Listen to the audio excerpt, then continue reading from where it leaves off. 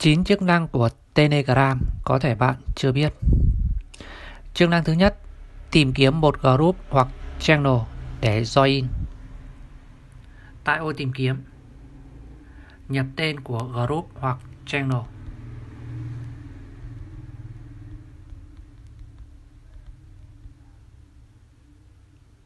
Chọn vào group hoặc channel hiện ra phía bên dưới. Chọn vào join.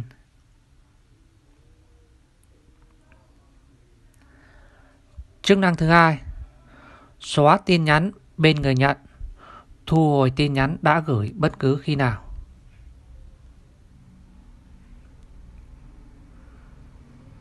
Chọn vào tin nhắn. Tìm đến tin nhắn muốn xóa. Giữ. Chọn vào Delete. Chọn vào. Delete for me and.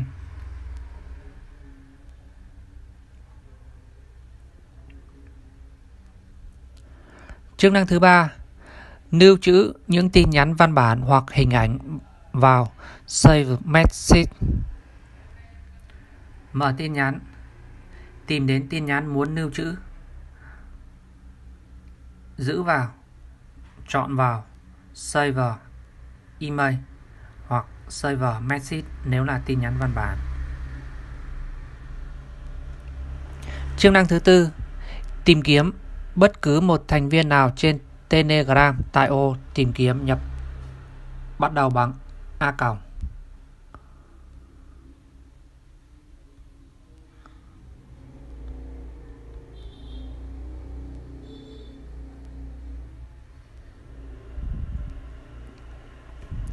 Chức năng thứ 5 Chức năng thứ 5 Thay đổi username và số điện thoại bất cứ khi nào bạn muốn, không giới hạn số lần thay. Chọn vào cài đặt. Chọn vào Edit. Ô lên nhập một tên khác.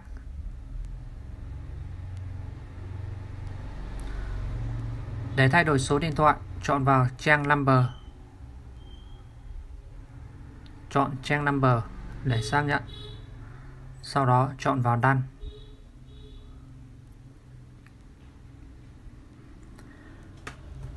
Chức năng thứ 6 đăng nhập nhiều tài khoản Telegram trên một thiết bị. Cũng trong phần cài đặt. Chọn tiếp vào edit chọn add another account. Nhập số điện thoại để đăng nhập. Chọn next. Sau đó nhập mã xác nhận.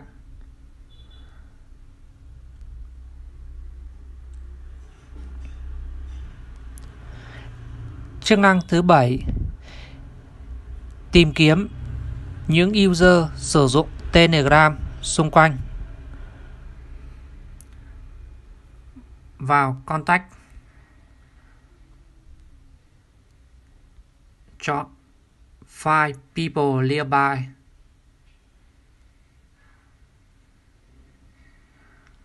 Chức năng thứ 8 Chat bí mật riêng tư. Tìm đến người muốn chat. Chọn vào logo biểu tượng của họ. Chọn vào More chọn vào Start. Secret Chat. Chọn Start.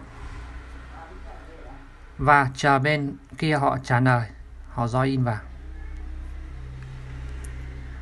Chức năng thứ 9 khóa block user mà bạn không muốn tương tác.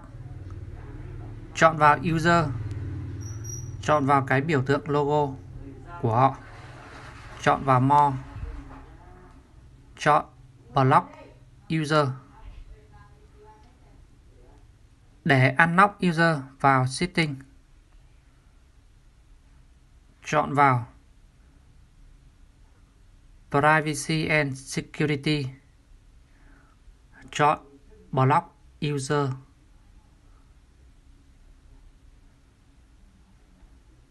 Vuốt Tìm đến user mà bạn muốn unlock và vuốt màn hình từ phải sang trái để unlock user.